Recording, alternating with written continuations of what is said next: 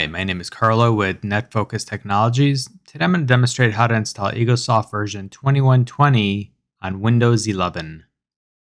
To proceed, we have downloaded Eaglesoft version 2120 on our desktop.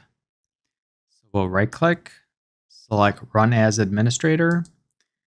Eaglesoft should launch and we should see a dialog box appear, followed by a Eaglesoft installation menu.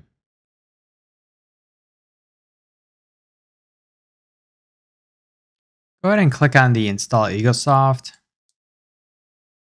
You may see this dialog box come up letting you know that Eaglesoft has not been tested on Windows 11. Go ahead and click on OK.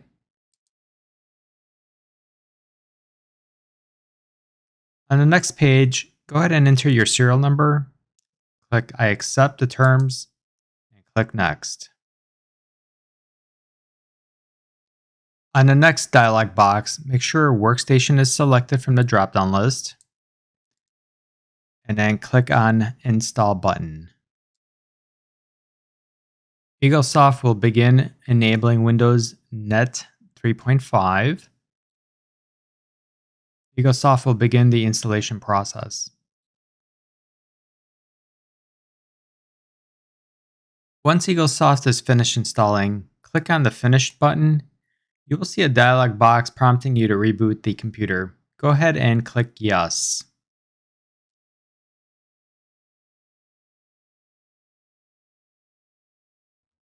Go ahead and log back into Windows. Upon logging back into Windows, we need to do one more thing to make Eaglesoft work correctly.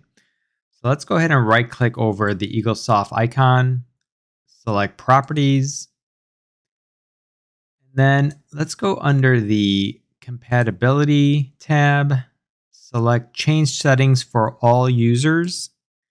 And in here, we want to make sure that we have a checkbox next to run this program as an administrator. So we'll place a checkbox there, click on apply, click OK, click OK again, and that completes the Eaglesoft installation.